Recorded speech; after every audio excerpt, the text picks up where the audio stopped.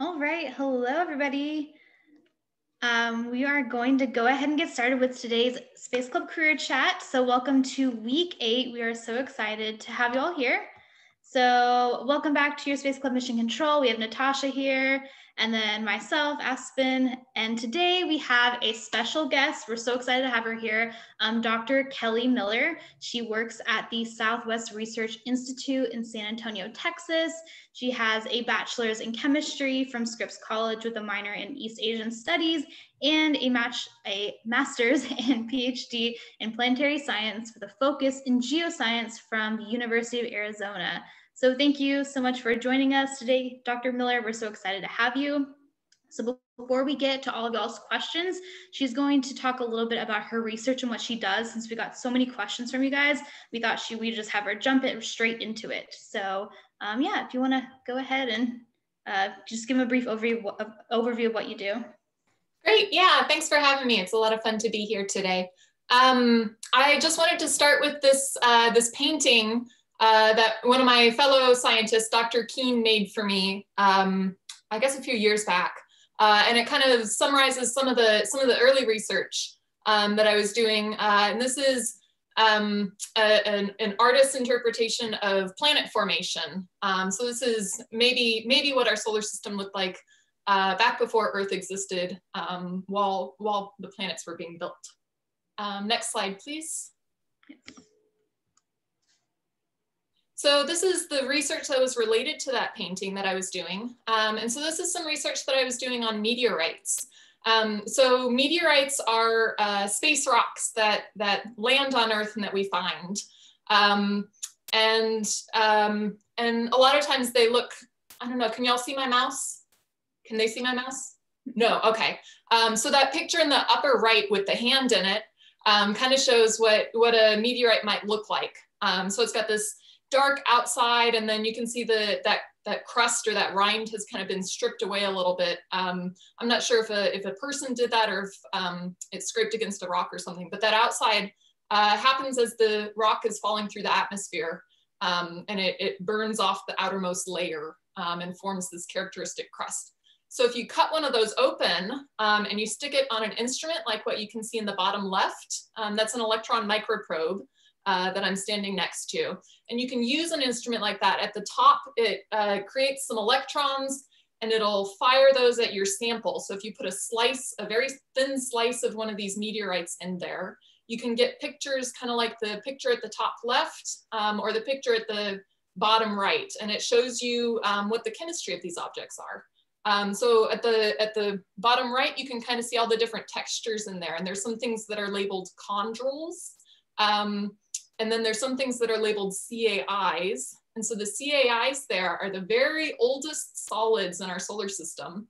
And those formed 4.568 billion years ago. Um, and then the chondrules uh, started off as free floating dust bunnies. Um, and there was some kind of a, a shock heating event um, that, that melted them. And for, for a little while, they were floating balls of magma in space. Um, and then they cooled down and they formed these round objects. Um, so by studying these kinds of events, we can learn about uh, things like this shock heating event that happened uh, before planets even existed, um, which is pretty cool. Uh, next slide, please. Okay, so another area of research that I've worked on um, is trying to understand where Titan's atmosphere came from. So Titan uh, in the upper right photo, you can see a picture of, of Titan, which is a, a satellite or a moon um, of Saturn. And you can see there are Saturn's rings that are cutting across Titan there in that picture. That was taken by the Cassini mission. Um, and then there's a, a strip um, in the middle of this slide that shows there was a, a lander probe um, that, that flew through uh, Titan's atmosphere and landed on the surface. And that's what it looked like on the surface. Um, and so you can see there are those rounded pebbles there. It kind of looks like the bottom of a, of a stream bed or something like that here on Earth. And the reason for that is that um, Titan is the only other body in our solar system that has liquid at the surface. And so here on Earth, liquid water is our, our main liquid. Um, and on Titan, it's ethane and methane. Um, so it's, uh, those are similar to the gases that you use to light your grill But um, on Titan, at those temperatures and pressures, um, it's a liquid. And so they've got uh, seas there. Um, and that's probably what gives those pebbles that shape. Um, so the, the atmosphere of Titan is one of the reasons that that liquid can be there. And so we want to know where that atmosphere came from. And so there's a cartoon schematic there um, that kind of shows an idea that we've been testing out. And the idea is that you might go from something like the cometary bodies shown on the left. Um, if, you, if you take the chemistry of the comets and you um, build a, a Titan-sized planet out of it, uh, you get a lot of organic material in the center, kind of like coal. Um, and, and then when you heat that up, you might produce some gases. And if those gases escape, uh, then you could create part of the atmosphere, um, something like 50% that way maybe. So uh, next slide, please.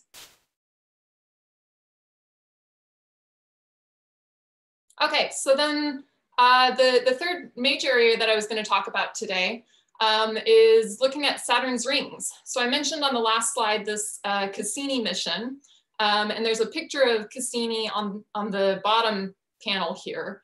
Um, so Cassini was active at Saturn from 2004 until 2017.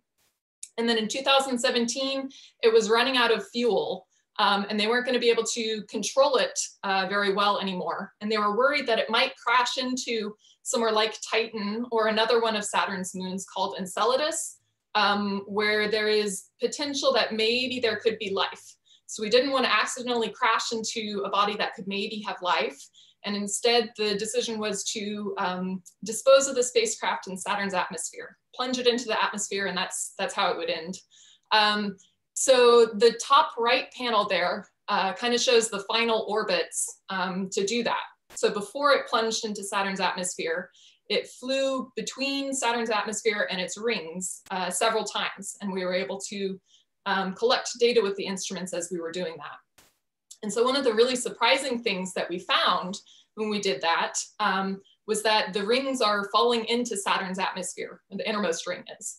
Um, and the, the main way that we know that is by using an instrument called a mass spectrometer. And I'll show you a picture of that on the next slide, um, a similar instrument, but, but you can think of a mass spectrometer as like a nose. So it sniffs the environment. Yeah, so on the right there is a picture of a mass spectrometer, a different mass spectrometer. Um, that one's going to Europa. Um,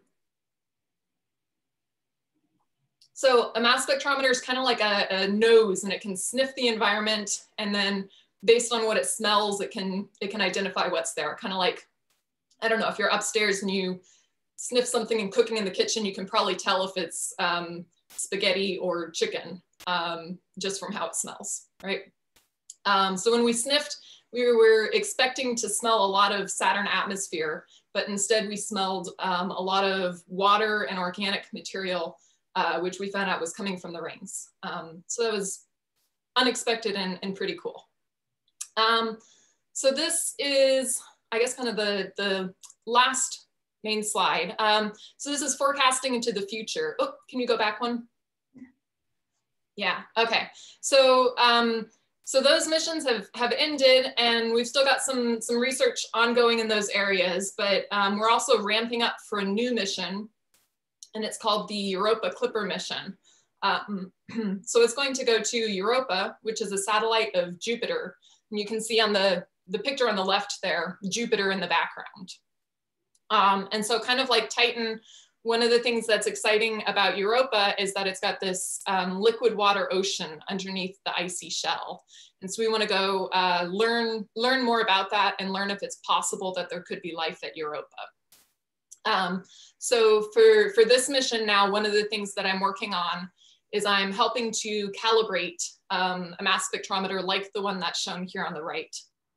So this is a, a test version of the instrument that's going to go to Europa. Um, and so when I say calibrate, we're basically trying to figure out how do we know what we know from this instrument? If it tells us um, that there is oxygen present, uh, and there's a certain amount of oxygen. How do we know that?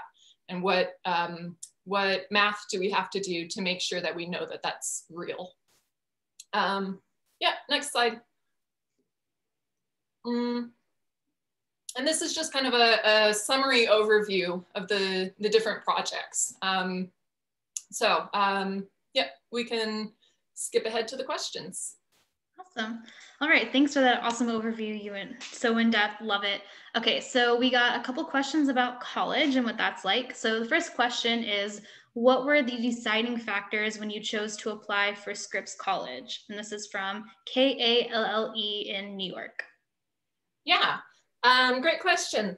So I, um, when I was going to college, I, I knew that I wanted to do something in science. Um, and I thought that I wanted to be a marine biologist. And so I was going to major in biology. Um, and then I ended up switching over to chemistry. And so um, I, I knew there might be some change there. So one thing I was looking for was um, some flexibility in, in majors and making sure that I'd have a little bit of time to explore the pathways and making sure that um, the program I was going into wasn't super specialized um, because for undergrad I wanted to um, have something that was a little bit more more broad so that I could kind of explore my options a little bit more. Um, that was one of the one of the really good things. Um, one of the deciding factors was scholarship money. Um, I, I, got a good scholarship there, and so I went there. Um, another deciding factor was that it felt like home when I went, so I was very fortunate for that. Um, and and I liked that it uh, had had small classes. Um, so I had a lot of interaction with my professors, um, and I was able to um, get to know my fellow students a lot better. Um, those were the things that I was kind of looking for. And then now that I'm looking back, um, one of the other really great things about it is that it's a liberal arts program. Um, and so you'll probably hear me say a couple times how important communication is in, uh, in science and being a scientist. And so the, the liberal arts education, I think, really gave me a very strong foundation for, uh, for written and spoken communication. And that's really served me well um, as, as a scientist. Yeah, I always hear that whenever you're looking for a college, you try and find a home away from home. And so that's awesome that you found that there. Yeah, yeah, that, that was also, I was also interested in that and, and fortunate to be able to pursue that. So. All right, the next question is what interests you most about planetary science? And this is from Pigs in Space in Texas. Yeah, um, so one of the things that I really like working in planetary science is that it's always something different. Um, it's really interdisciplinary. So I get to learn a little bit about um, physics and a little bit of chemistry and a little bit of astronomy and some biology and all of it kind of comes together. Um, and my job is to try and pick out parts of that and synthesize it to tell a story, um, which I really enjoy doing. And it means that if I start to get bored with one thing, um, I can just shift focus a little bit and and try something else different. Um, so I'm always learning and I'm and I'm always finding new things to get excited about.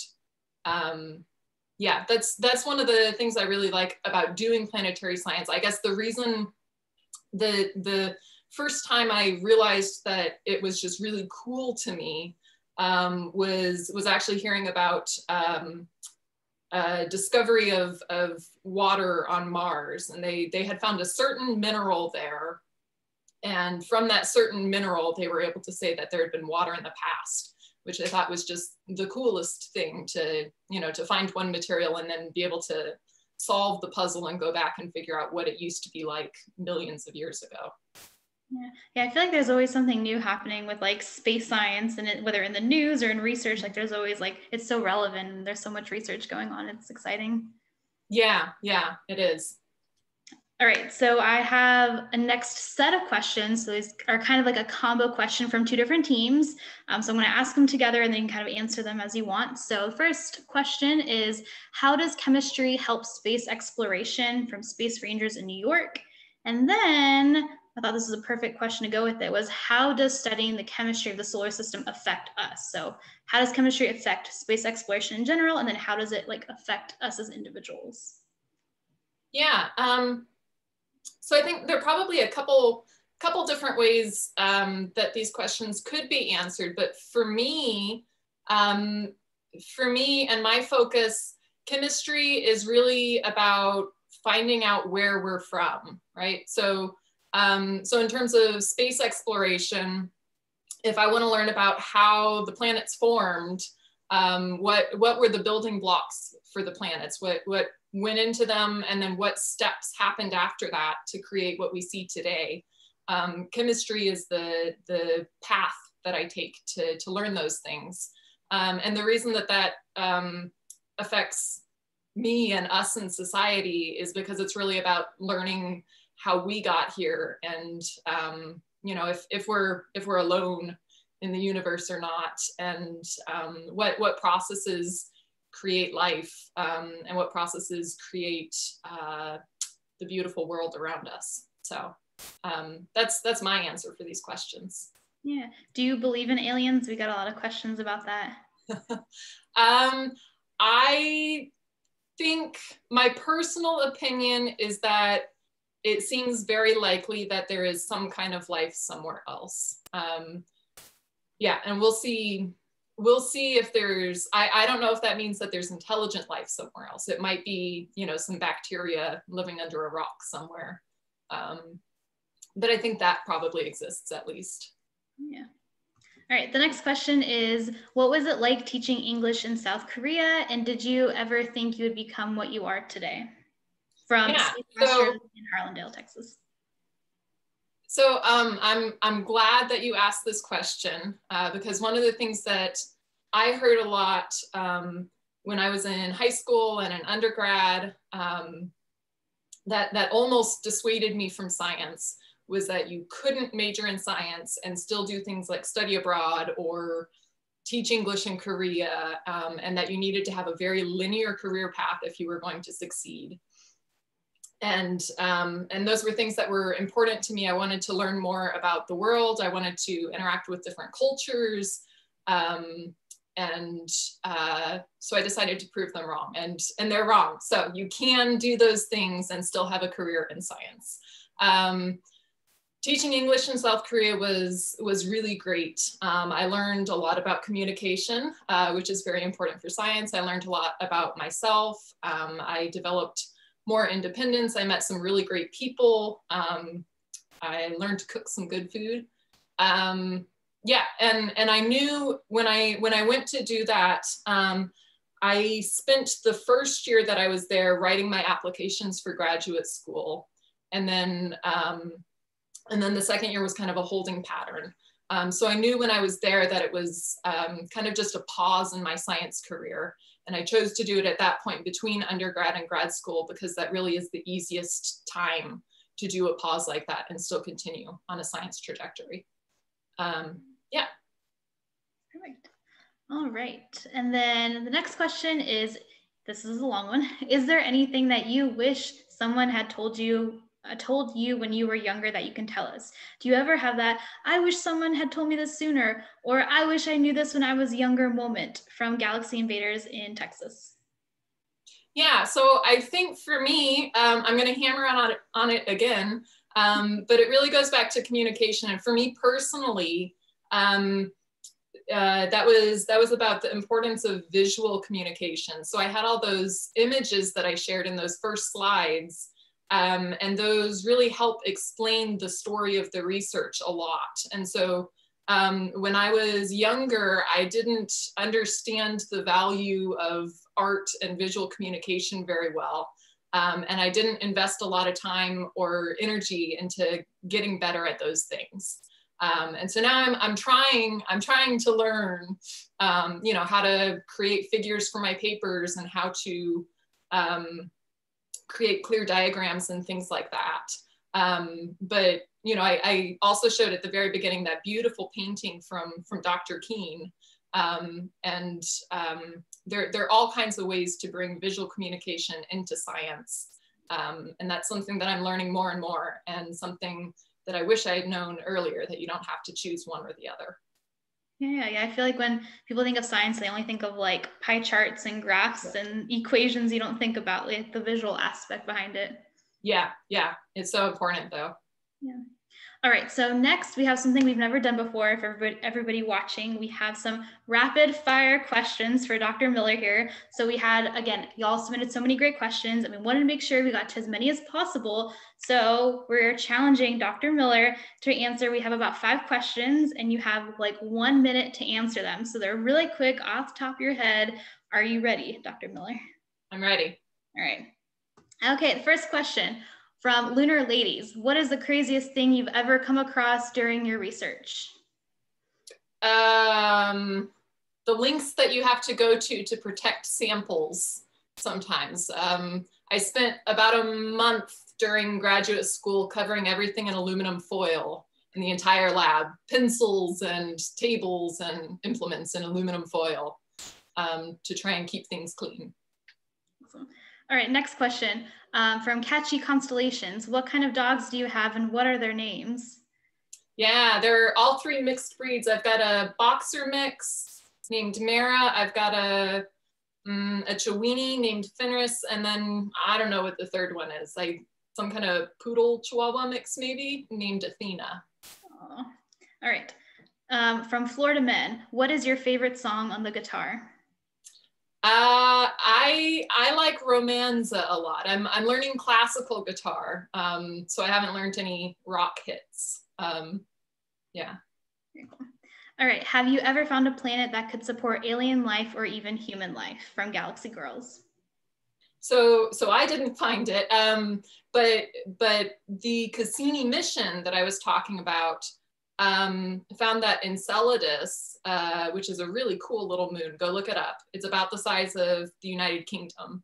Um, has liquid water, it has an energy source, um, and it has um, the, the chemical building blocks of life. We know all three of those things are present together. Um, and so that's kind of our definition for if somewhere could support life. Um, that doesn't mean that it does support life uh, just just that we think the ingredients are there. Yeah. All right, last questions of rapid fire. Um, if someone wanted to do your job, what advice would you tell them from Alien Invasion? Um, I would say stay curious and and yeah, pursue pursue all the different things that make you curious. Um, and you know, sometimes it'll be a, a deep rabbit hole that you go down, and sometimes you'll branch off in different directions. But as you go along, um, you'll learn something from each of those excursions that's going to be useful in the future, even if it's not immediately useful. Awesome. Yay. Natasha, do we have any last minute questions? Yes, uh, follow up on the planet that supports alien life from you mentioned the Cassini mission. What was the name of that planet? Yeah, so it's it's a satellite, it's a moon, um, and its name is Enceladus, E N C E L A D U S. And it's a, a moon that's in orbit around Saturn. Awesome. And then a second question, if you ever made contact with aliens, what would you tell them? Hmm. Ooh, that's hard. What would I tell them? Um, I have no idea what I would say either.